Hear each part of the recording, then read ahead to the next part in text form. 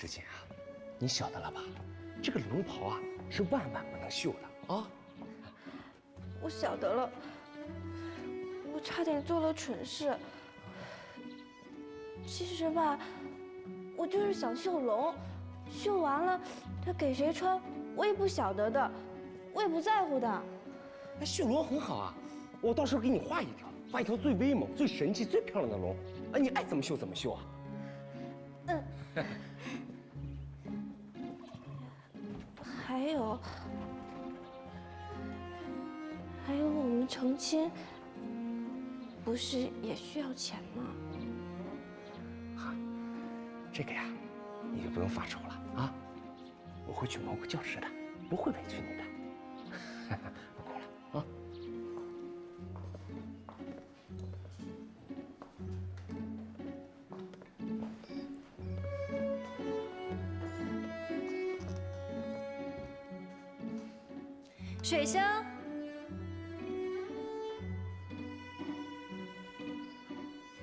小姐，昨天晚上不是讲好都听我的，我还没讲话，你们就动手了。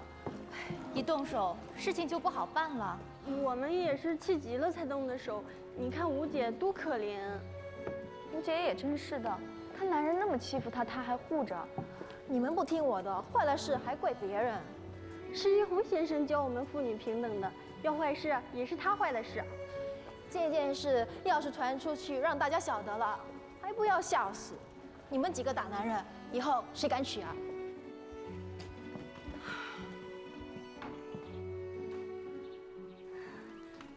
素芬妹妹，子欣姐，知画，若贤，苏盼，哟，苏盼妹妹，你穿这身衣服，我都快认不出来你了。我这样穿好看吗？好看。子欣姐，我听知锦讲，你们成立了木渎女子公益团，今天还组织活动了呢。啊，还不是易红先生的意思，我们懂什么呀？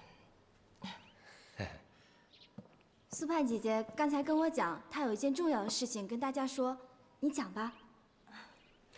美国旧金山要举办一次万国博览会。苏盼姐姐，什么是万国博览会啊？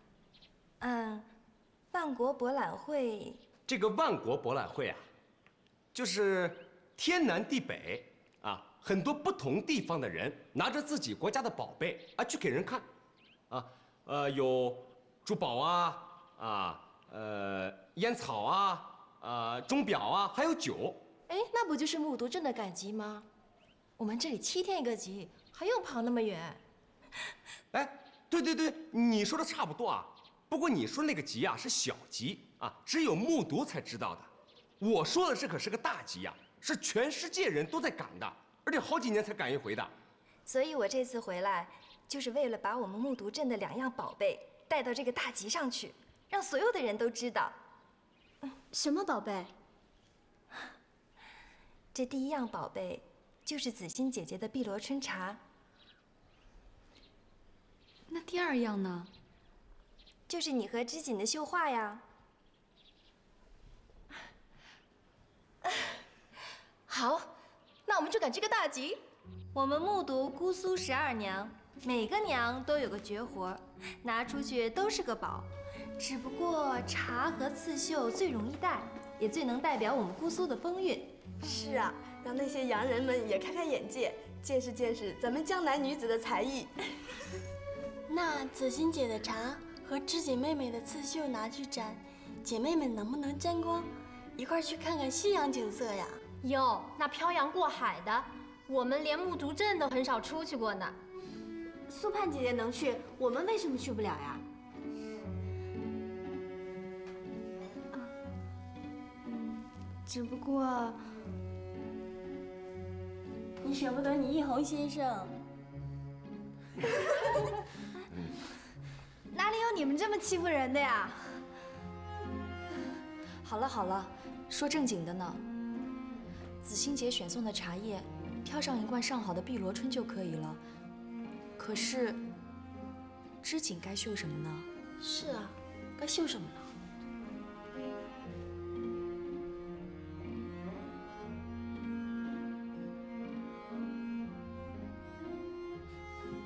有了，不如我们就绣仕女图。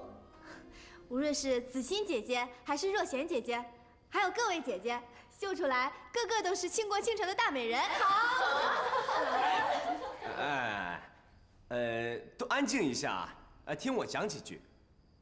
你先坐下。呃，依我看呀，倒不如绣《锦绣江南图》，怎么样？哎，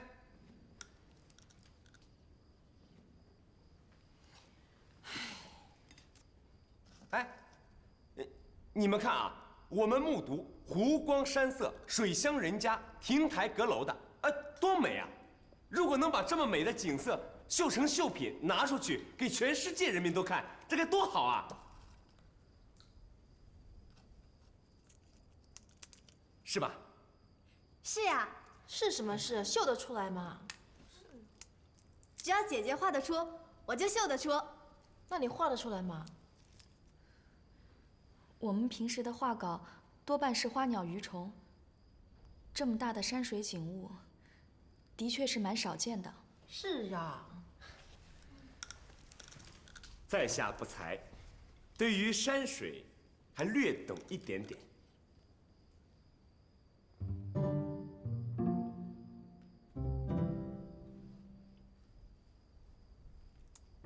呃，你们先吃啊，呃我这就去画。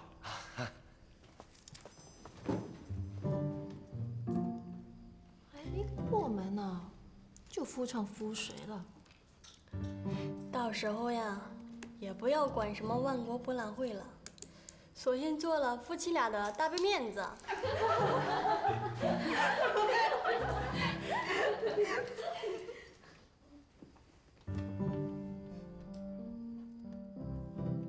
反了，真反了，吴大人。吴大人，就是那个，那个什么民政委员赵一红，哎，他真不知道天高地厚啊啊，他还不识抬举。你说要这事儿摆在老佛爷当朝的时候，绣龙袍啊，这种肥差给谁谁都得跪着接呀啊！这傻小子他还不买账呢啊！赶紧息怒，赶紧息怒。怎么回事？禀报县太爷大人，曹公公看中的那个会绣龙袍的绣娘，正巧是赵委员。叫该死，那个叫织锦的绣娘，偏偏是赵一红未过门的媳妇儿。我们去接人，赵一红她讲，她讲，她不希望再听到绣龙袍这种荒唐可耻的事儿。嘿，这黄毛小子啊，他真是活腻了他。哼这个赵一红，真是不想活了。哼，哎呦，吴大人，赵一红可得活着。像他媳妇那样的绣娘，在先前我干爹掌管的织造局里，那也是出类拔萃的呀。你要是把他男人杀了，他必然也不绣了。再找个像他这样的绣娘，那可不易呀。再说袁大总统就要登基了，绣龙袍万万耽误不得。他说的对呀，啊，这赵玉红啊固然可恶，可是万万杀不得。绣龙袍这种事儿多么庄严，多么吉祥啊，沾不得一点血腥气。二位公公，龙袍是否绣得成，归你们管。赵一红冥顽不化，攻击袁大总统，归本官处置。传我的令，捉拿乱党赵一红。是。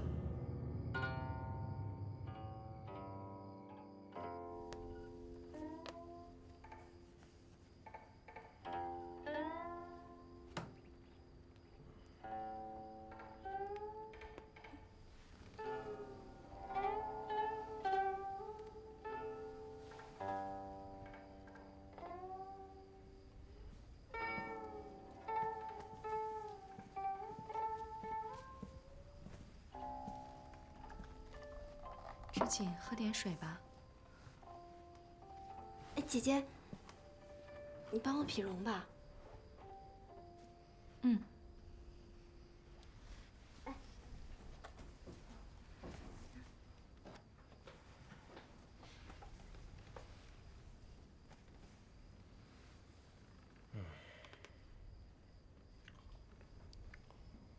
嗯，我听苏盼姑娘讲啊，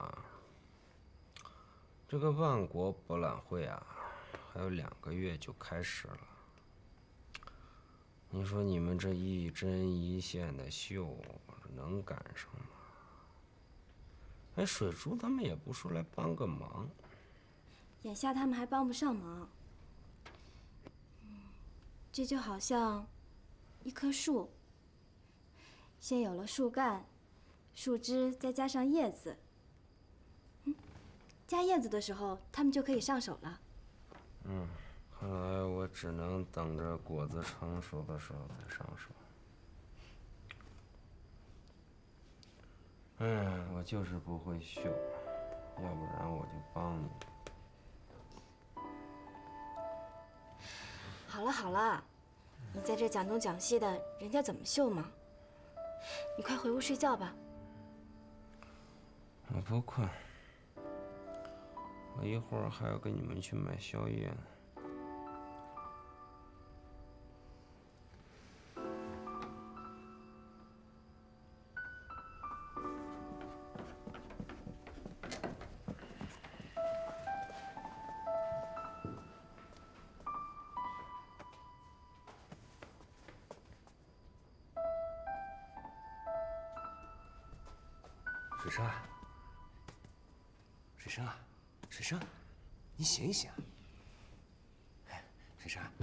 借我一些钱，我去夜市买点点心，吃紧熬夜，我怕他晚上饿。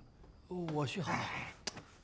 不用你去的，等你将来有媳妇啊，你去给你媳妇买啊。哦。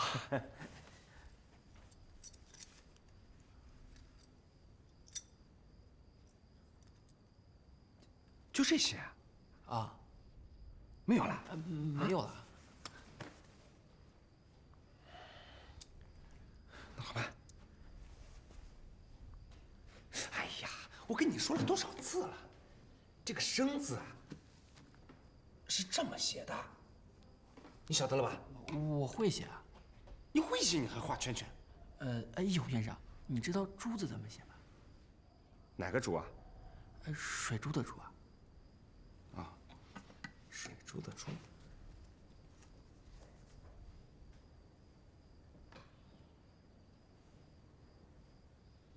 水生，你为什么要学这个字啊？易红先生，你觉得水珠怎么样？你喜欢人家？我我想让他给我做双鞋啊，不晓得他给不给我做的。哎呀，我跟你讲啊，你要是喜欢人家，就大胆的跟人家讲，啊，就叫他做，他不做也得做的。嗯，你想到了吧？啊，想到了。那我去了啊给我留着门啊。啊好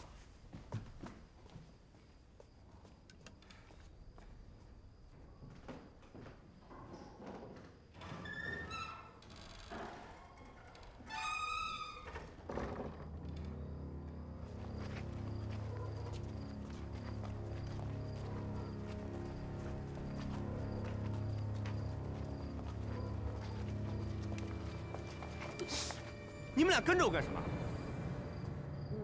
我们在茶馆等您一天了。有事啊？吴大人让我们请您。我跟他又不是一路人，他凭什么请我？我不去。一红先生，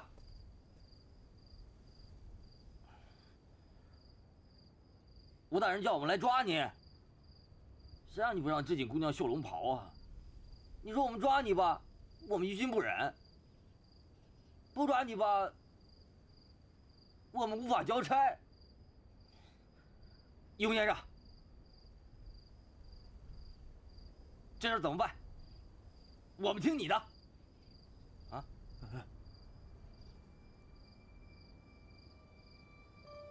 我跟你们去，我倒要看看，这个吴良辰到底能把我怎么样。哎，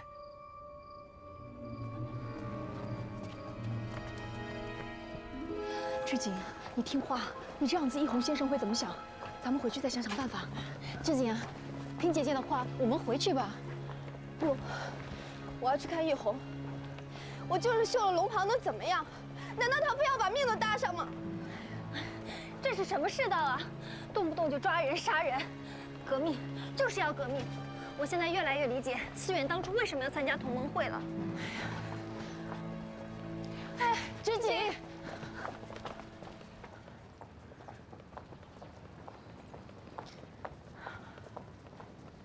哎，两位大哥，两位大哥，易红先生怎么样了？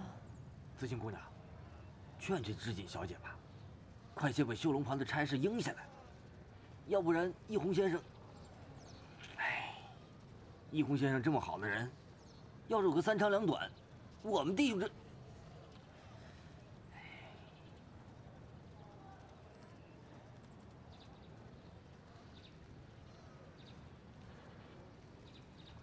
我绣。太好了，易红先生，有救了。知锦姑娘，我们现在就带你去见吴大人，你可要讲清楚。对，秀，一定要秀。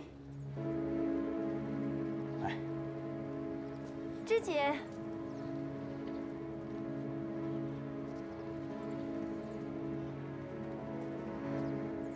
我也去。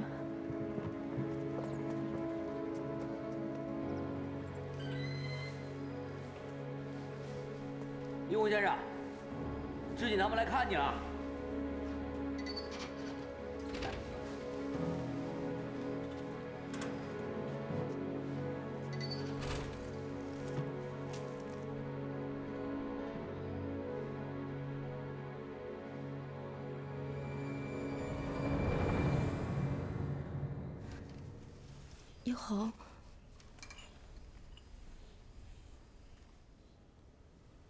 先喝点粥吧。你怎么来了？回去吧，我不饿。若秋啊，带着知锦回去吧。若秋，我的话你没有听见吗？织锦姑娘，人也见了，你们还是先回吧。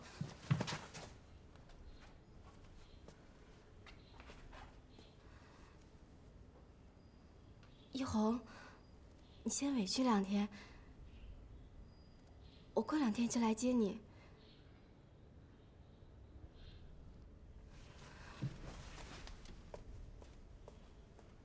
回来。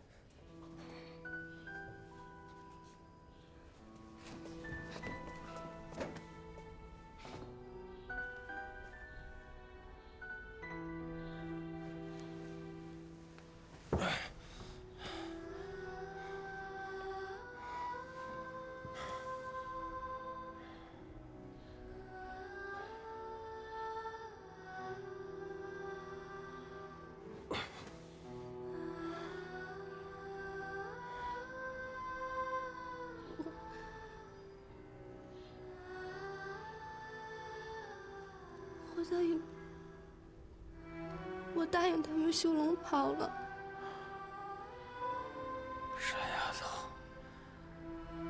你真糊涂啊！一红先生，你是真糊涂啊！活着不比什么都好啊！我们明天就去绣，早一天绣完，你就少挨一天打。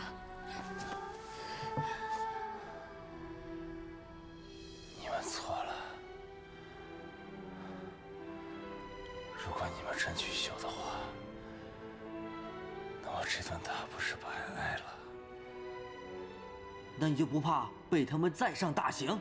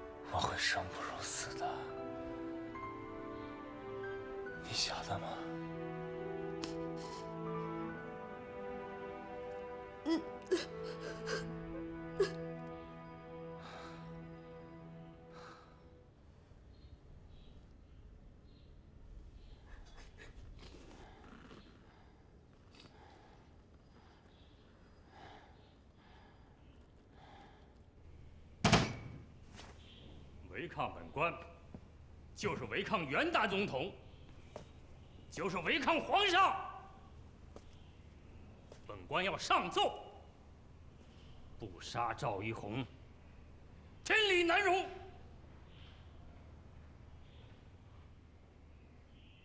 头儿，我们俩一直盯着那两个太监，他们俩一大早就进了老爷的制造厂，这阵子正在施家饭馆呢。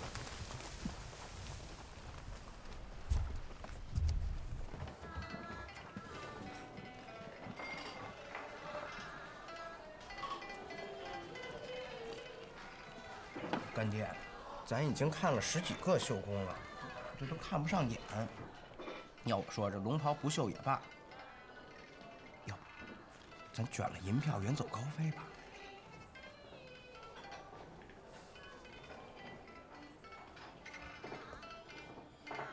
你要再说这种话，我就杀了你。绣龙袍，那是多庄严、多吉祥的事儿啊！啊！干爹，我是说这八沸汤那么好喝，您到时候进了宫见着袁大总统，一定把这十家饭庄的厨子招进宫去。这御膳房应该添这道菜，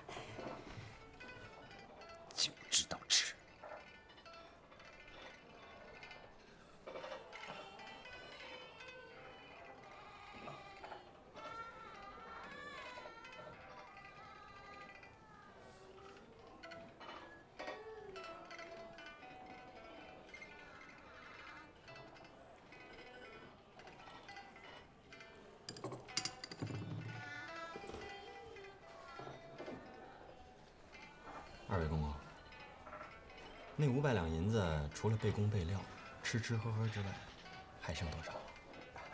哎，这不是还没开工呢吗？哎，大头啊，还没动呢。那就好。我听说这龙袍绣不成了。啊？您您这是什么意思啊？那五百两银子，除了有我爹的，还有其他乡绅的，对不对？对。这龙袍现在又绣不成了，你们二位身上还拿那么多银子，就不怕被贼人给盯上了？我们我们会好好的保存的。这样吧，你们先把银子放到我这儿，帮你们保管着。等二位公公需要用的时候，随时到我这儿来取。那我们怎么向吴大人交代呢？好。交代啊。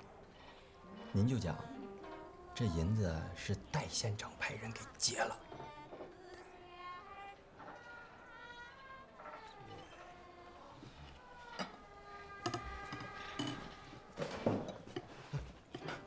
这这我明白了，我们懂。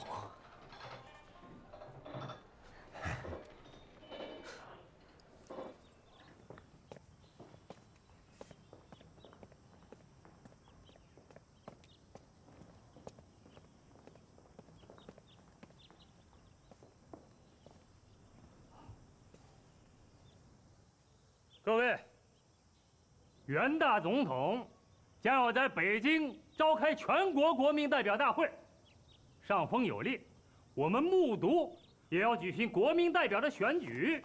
吴大人，吴大人，吴大人，吴大人，怎么了？修龙袍的银票让歹人给劫了。歹人？啊，哪里来的歹人啊？这黑灯瞎火的，我跟干爹也没看见，反正是十几个蒙面大汉。嗯打头人说了，说是民国政府的，呃，戴县长派他们来的。啊，戴县长。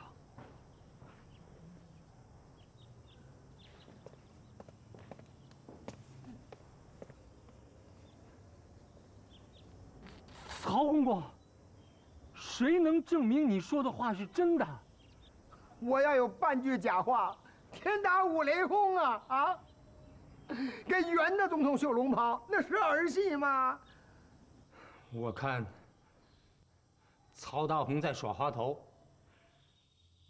他打着绣龙袍的旗号来为我们要银子。他现在又讲是戴县长派人把银子劫了。哎呦，战事这么激烈，戴县长早跑了。那那个赵委员还在大牢里关着呢，这怎么会是革命党劫的嘛？老爷，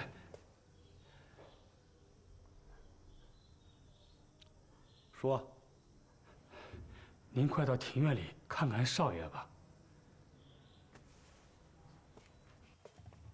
站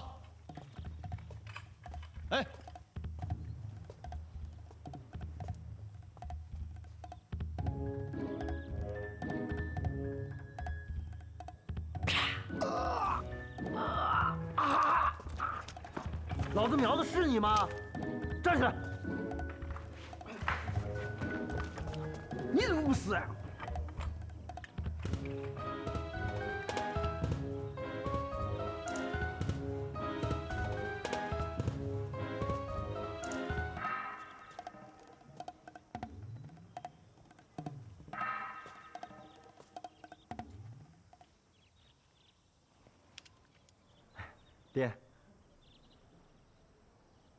哪儿来的枪？买的，哪儿来的钱？咱家的。我没给。哎，是这样的，我把你给那两个狗太监的钱给要回来了。那我的一百两呢？在这儿呢。啊！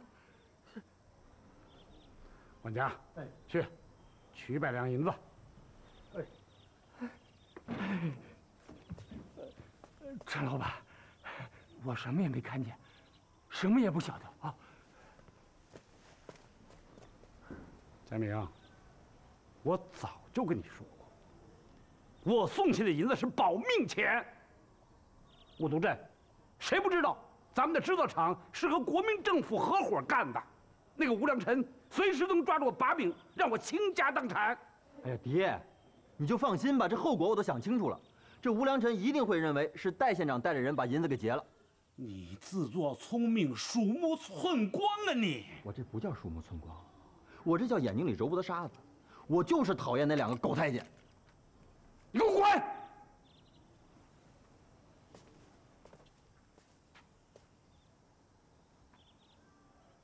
爹，你知道哪里能买到子弹吗？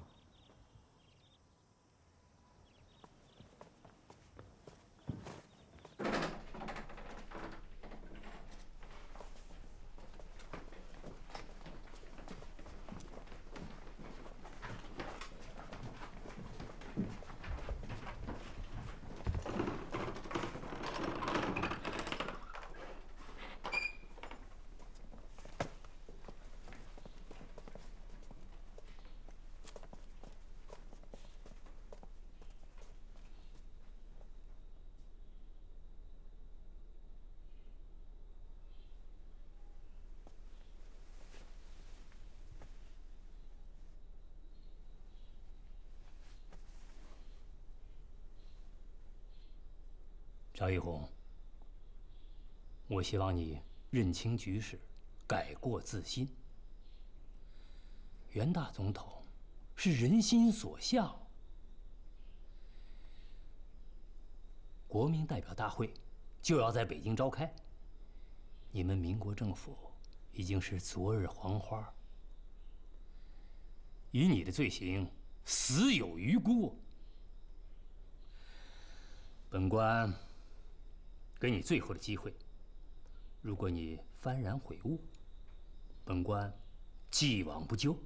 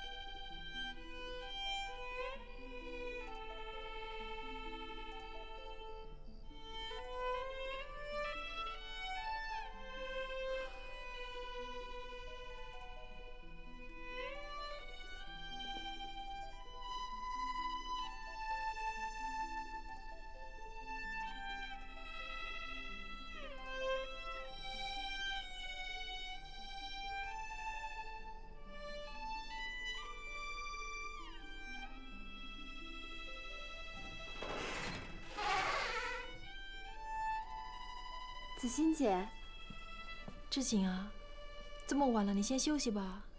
没关系的，我们都不困，马上就绣好了。我看看，哎，你们都没睡呢？哎，天哪，好漂亮啊！芝锦，你真了不起。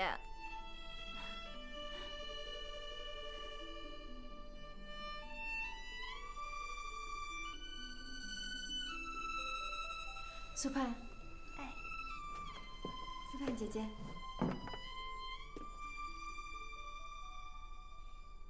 这是吴姐亲手织的，让我转交给你。呀，真漂亮！这把扇子也是我亲手做的，谢谢。这点小礼物你也带着吧。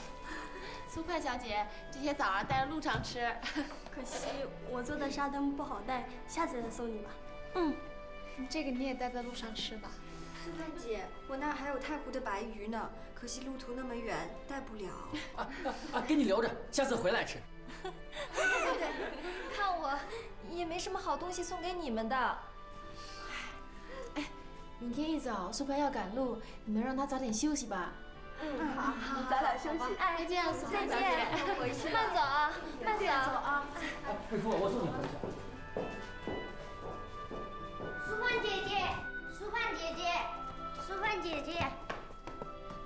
是我刚杀的鸡，你也带走吧。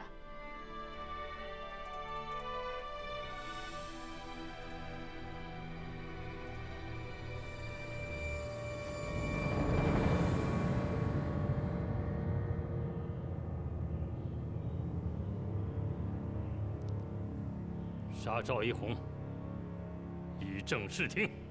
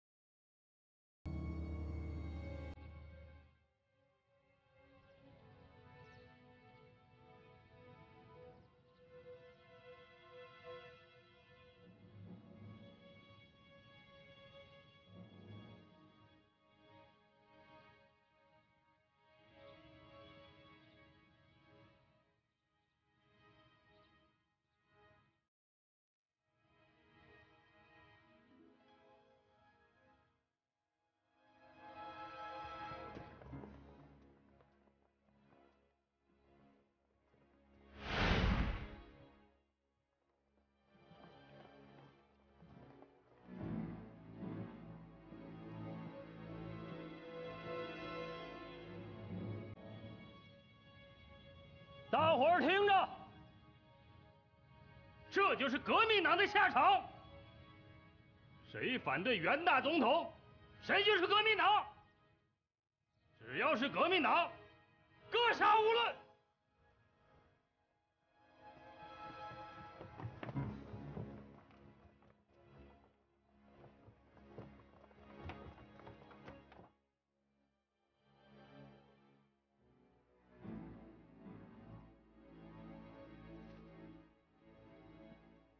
准备执行。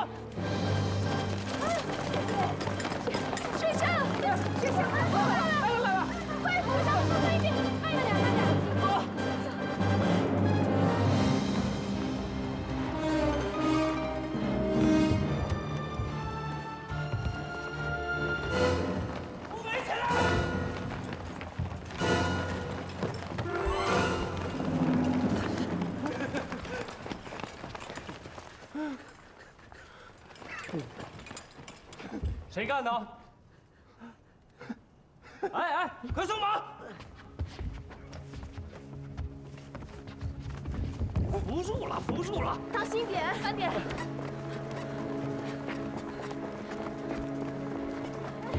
当心点，当心点，慢一点。来来来，慢一点，慢点慢点。一红先生，慢点慢点，这紧，这紧，这紧。先给他们两个背回去。对，别在这躺着，快快，这水生，水生，哎哎哎，来了，快，来来来来来，扶起来，当心点啊，慢点，走吧，哎，当心，快。自己人！哎，站住！站住！不要慌，不要慌，自己人，自己人。哎，长官，你是哪部分的呀？啊？哎，他，他可是革命党。我把你绑起来，你他妈也是革命党。上峰有令，上峰，老子就是上峰，把他们枪给我下了。哎哎哎哎哎！自己人，自己人，别动！哎哎！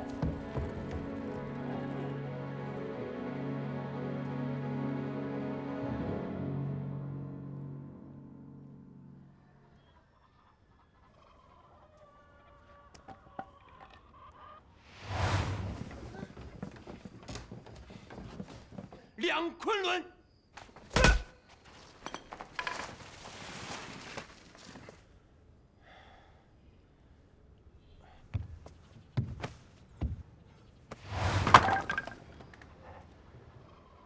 大志啊，你说你天天在前线打仗，还是一点伤也没有啊？没有，运气真好。我打了这么多年仗啊，身边死了不少兄弟，我运气的确好。大志啊，你你不要嫌我唠叨啊，你怎么还当北洋军啊、一红先生，革命的道理你比谁懂得都多，可你还不是差一点被别人砍了头吗？还不是我这个北洋军救了你吗？使点劲儿。是。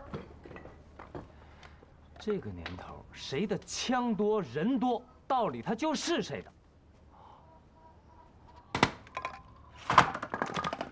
易红先生，还有一个道理是真的。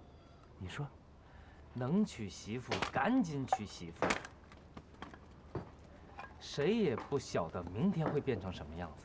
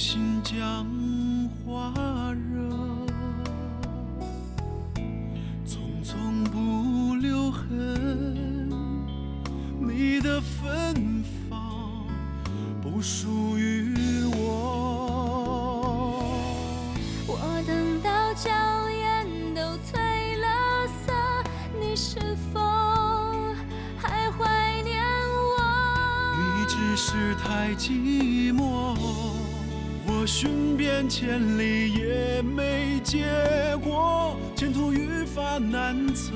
你现在在哪儿呢？我不顾天边已是秋末，都苍老了那么多。我未曾疲惫过，我记得曾经穿堂